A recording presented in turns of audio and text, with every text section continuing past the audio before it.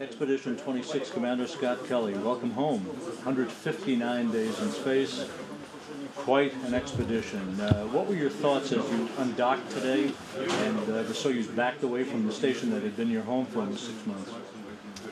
Well, you know, I kind of, I guess I reflected on you know, how much work we did and how much we accomplished, and thought that uh, you know it's such an amazing uh, research facility that we built.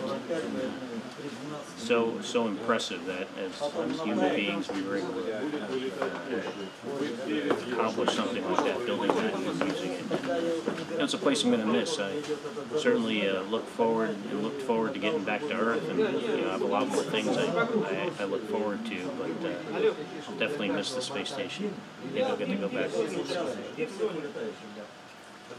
The, um, the impressions you had as you left the station, what was entry like? Your first impressions as they opened the hatch, it looked like a scene out of the North Pole. Well, entry was, you know, I've heard so much about how the Soyuz entry is kind of, uh, you know, a little on the rough side. So it was um, sort of what I expected, which is a series of explosions followed by a car crash, and uh, and then when the hatch opened, it's just quite refreshing to get that uh, cold air and uh, you know snow blowing inside the capsule. It was uh, it was uh, definitely a uh, one once in a lifetime experience. You're fresh out of your mission here, but in reflection, what do you consider to be the major accomplishment of your expedition? There was so much to choose from.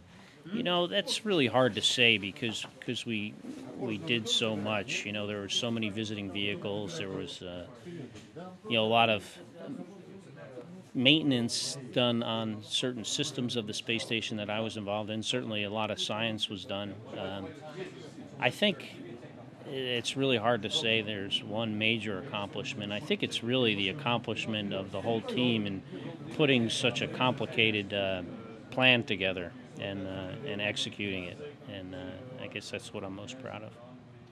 Scott, it goes without saying that the uh, the wounding of your sister-in-law in January represented the test of a lifetime for you in orbit, uh, and obviously for your brother. How difficult a period of time was that for you? Uh, as basically being in orbit, unable to lend uh, hands-on assistance to your brother at a time of crisis like that? Well, you know, it certainly was difficult.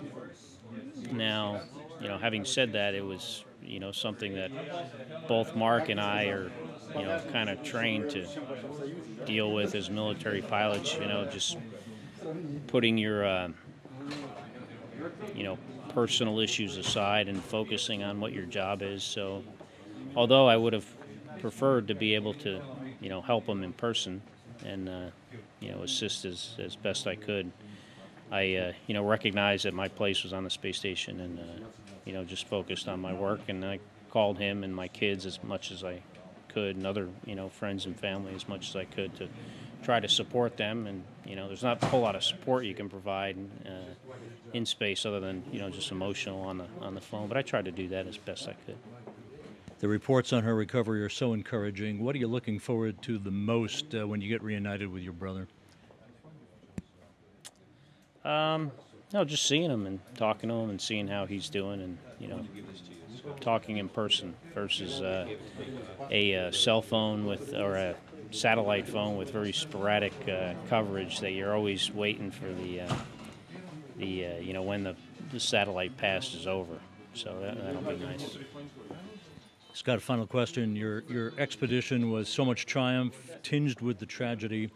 Uh, for you, when you, when you think you'll have time to reflect on it all, what do you think the highs and lows will be for you? Well, certainly the low is when uh, Gabby was shot along with all those the other Tucson victims, without a doubt. I mean, when you hear a uh, you know you get a phone call that the chief of the astronaut office wants to talk to you immediately, you know you know it's not good news.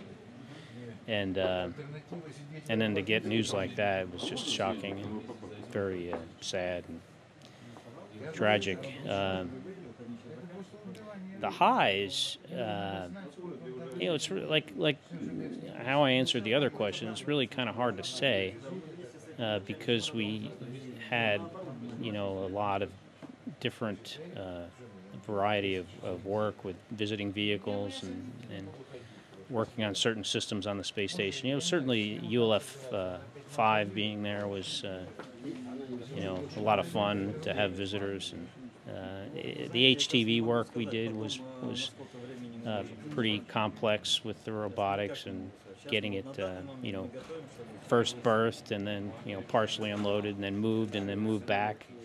Um, so I, I would say those those two things. Scott Kelly, Expedition 26 Commander, welcome back. Congratulations. Thank you, Rob.